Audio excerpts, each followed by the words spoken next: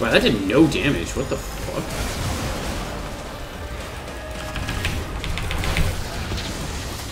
Uh, I'm a man? Hello? Excuse you? Wait. What the fuck? What the fuck? Wait, what just happened? Uh, was that?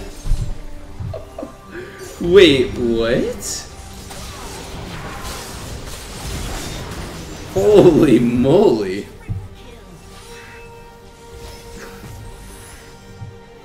Like what would like what would have happened if they had come back together? Like he killed them, but what would have happened? Would it have turned into like an unmoving Zac model? Would they have gotten another kill? Who knows?